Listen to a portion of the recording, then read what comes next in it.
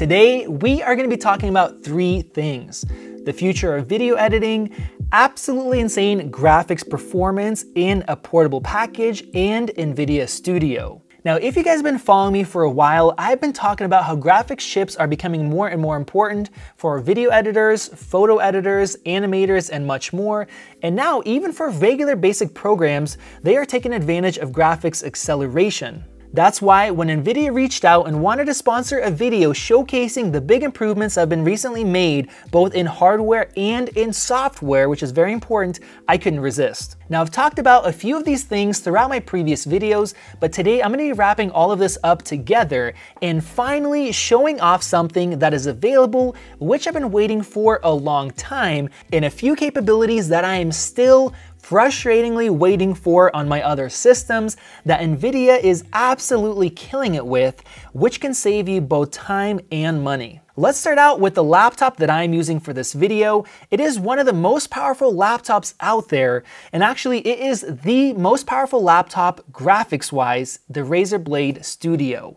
Now I want to point out that this is not a review video. And this video isn't solely focused on this specific laptop, but I do want to cover the specs and the features, talk about what I love about this particular laptop and what makes it capable of replacing your powerful desktop computer. And not your 1,000 or $2,000 computer, your four or $5,000 custom built PC, which you guys have, might have seen me build on this channel. First off, I really like the design. It's very premium and Razer did a great job with the build quality. We finally have something to go head to head with Apple, but taking what is good and then improving upon what is not. It's an all aluminum chassis coming in at a surprisingly light 4.8 pounds, and it's very rigid with aluminum that doesn't feel cheap like on some other laptops. I'm glad that Razer made their logo nice and subtle for this Pro machine as well. The charging port looks like USB Type-C, but it's actually much larger and just for charging. And next to that, we have a headphone jack and two USB Type-A ports, which is great.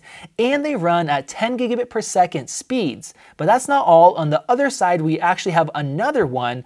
Next to that, we have a DisplayPort output, we have an HDMI, and also a single Thunderbolt 3 port. Now, one thing that I love about it is that not only do we have an SD card reader, which is handy, but it supports ultra-fast UHS Type 3 cards. Now these cards are not even on the market yet, but when they will be, you'll be able to transfer at over 600 megabytes per second, which is faster than a standard SSD.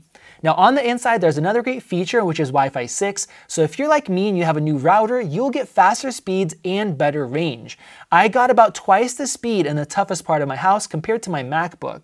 Now, when you're working, you'll be staring at not only an OLED screen, but one that is 4K and full DCI-P3 capable, which is about 25% more colors than sRGB, and that is great for 10-bit editing, which we're gonna talk about in just a bit, along with other tougher editing. It also is a touchscreen if you care for that. It has a 16 by 9 ratio with 400 nits of brightness, and it also has Windows Hello, which is super convenient for login. There's much more that I could talk about hardware and design-wise, but I don't, don't want to do that. Let's just jump into the most important stuff for video editing. We have 32 gigabytes of DDR4 RAM, which can be upgraded to 64 gigabytes if you guys need that, and a jaw-dropping NVIDIA RTX Quadro 5000. Now, I have talked about this GPU before, and a ton of you guys pointed out how this thing is not a normal laptop graphics card, but it's a full desktop replacement. So in this video, we're gonna be looking at it from that perspective. Now what makes this particular laptop special is it's the most powerful laptop graphics-wise in the world. So if you need the ultimate power and you want to not be just stuck in one spot with the desktop, it will deliver. Now before I show you what it could do, let me mention this has a 6-core Intel 9750H processor, can run up to 4.5 gigahertz. Now as you guys know, you've seen other laptops out there and I've reviewed a few that have 8-core processors.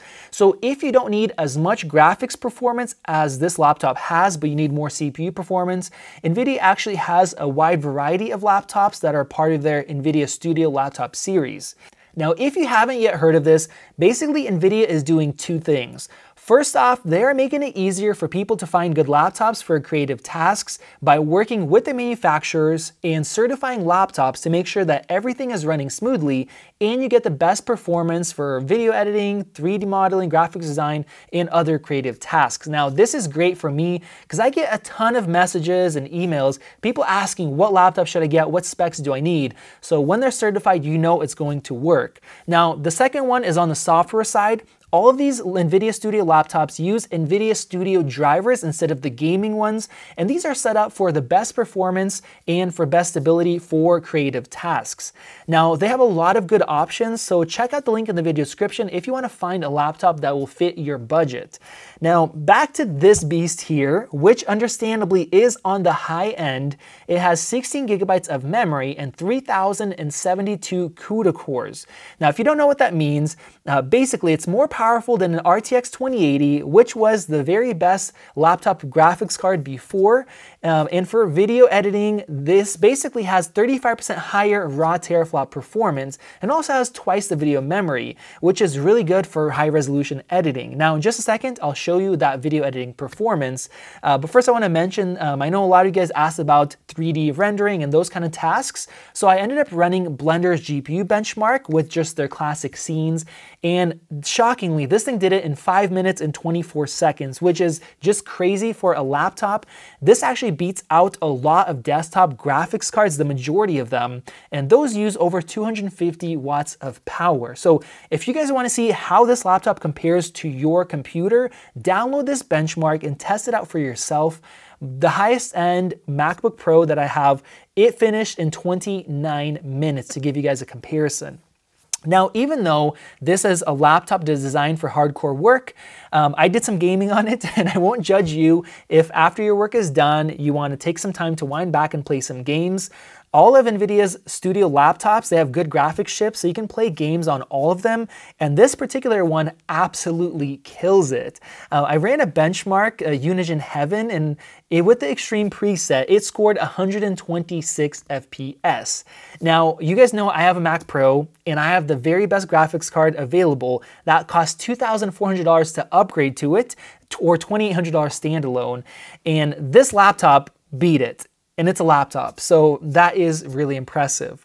But keep in mind, you do still have to be plugged in if you want to get the full performance. If you unplug and you're on the go, it goes into balance mode to save battery life, and then your performance goes down. So you want to be plugged in, and you also, when you do that, you want to go into Razer's Synapse software and make sure it is set to full performance before you start doing serious work.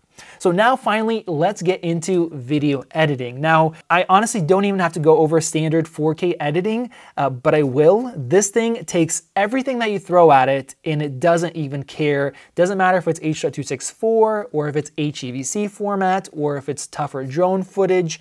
Um, I even put 5 LUTs and other corrections on here and it doesn't care. It plays back a full 4K playback with zero drop frames and keep in mind, this is in Premiere Pro. You guys know what my previous videos. Now, I know this video looks really terrible. I just stacked all those effects to see how far I can push it and to prove a point. And while I was doing that, I checked out Task Manager and it was only using about a third of the RTX 5000's capability. Now, this is where the future of video editing comes in that I mentioned in the beginning. Uh, over the past few years, more and more processing has been handed off to graphics in a lot of different programs, and that is a great thing. I want this to keep happening, um, especially if you have a good graphics card. This really is nice.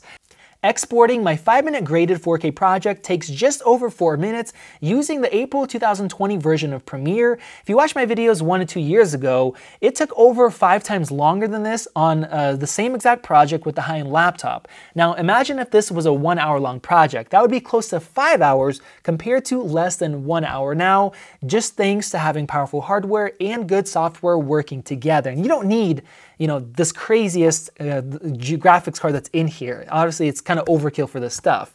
Now, that is in Premiere, but if we use DaVinci Resolve and use NVIDIA's incredible NVENC encoding, this 5-minute project takes just 1 minute and 47 seconds, all at the same time having half the file size of H.264, meaning it would take just over 20 minutes for this one hour long project, and then you can upload it in half the time.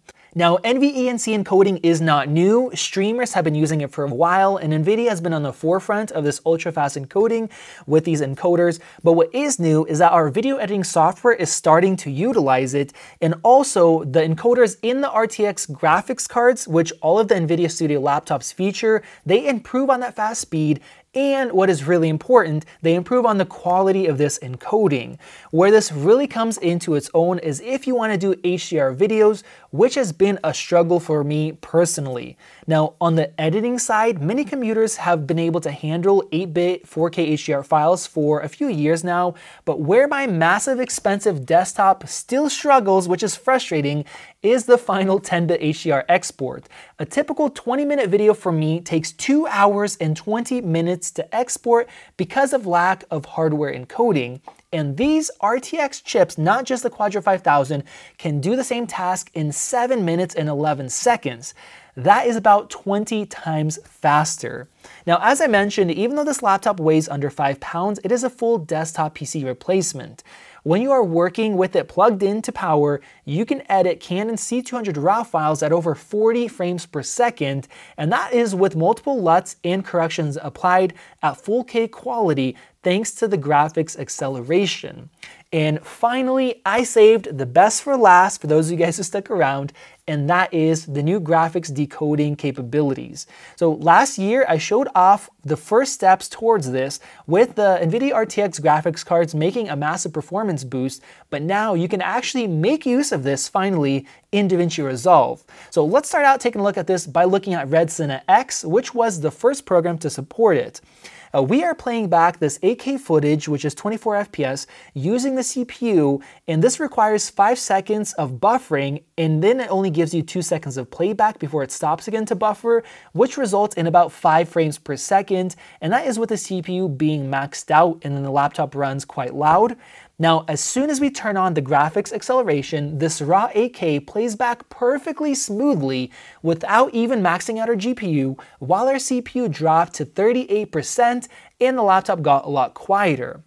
And now, where the part that I'm really excited about is that we can jump into DaVinci Resolve, the latest version, and this software is very well optimized, but now it is using this latest technology and here I have an 8K timeline, not a 4K, and we actually managed to play back at about 11 frames per second using standard debayering settings, which is absolutely unusable, and that is already using good GPU acceleration. So now time for the magic. Let's go into the settings and enable full RTX acceleration for both decompression and debayering, and bam! Now you can edit 8K raw video at a perfect 24 frames per second with the grade applied and even then, we're only using about 60% of the graphics card and less than 20% of the CPU. Um, so obviously, to me, that's mind blowing and it's really exciting. And I know that not everybody needs to edit 8K files and Go. There's not that many people that are doing that, but it's just extremely cool to see this tech in action finally after waiting for so long, and also seeing graphics acceleration being pushed further and further, which will allow all of us, no matter what you're doing, to save time and money. Um, it doesn't matter if you want to do this 8K or just compress 4K footage with just a few corrections. It allows even lower end, much less expensive laptops to do a much better job than before. So let me know your guys' thoughts down in the comment section below. And if you guys want to get more info on this specific Razer Blade Studio, or check out the full lineup of NVIDIA certified studio laptops that fit a wide range of different budgets and use cases, you guys can check out the links in the video description below. This has been Max. Thank you guys for watching and happy editing.